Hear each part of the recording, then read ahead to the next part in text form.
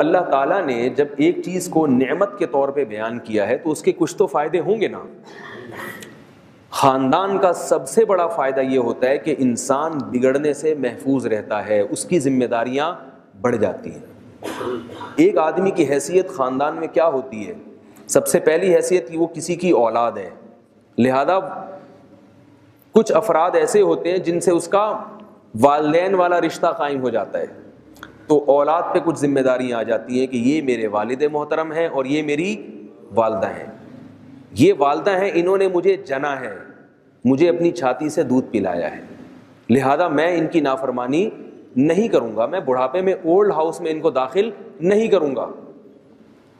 और ये मेरे वालिद मोहतरम हैं, जिन्होंने मेरी माँ को ठिकाना दिया, जिसकी वजह से मेरी माँ तरबियत कर सकी।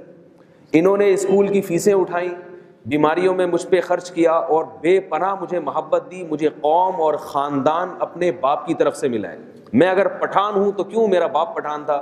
मैं अगर पंजाबी हूँ तो क्यों मेरे वालिद पंजाबी थे? मैं अगर सिंधी हूँ तो क्यों मेरे वालिद सिंधी थे? मैं अगर महाजिर हूँ तो क्यों मेरे वालिद महाजिर थे? तो ये नसब कहाँ से मिलता है? खान हूँ तो क्यों मेरे अब्बा के नाम के साथ खान लगा हुआ है? सैयद हूँ तो क्यों मेरे अब्बा सैयद थे? ये कहाँ से मिलता है इंसान को? अंग्रेज़ों की तरफ़ को सॉरी बाप की तरफ़ से, क्योंकि अंग्रेज़ों में मिलता ही नहीं है। मेरा मकसद किसी कौम की बुराई नहीं है।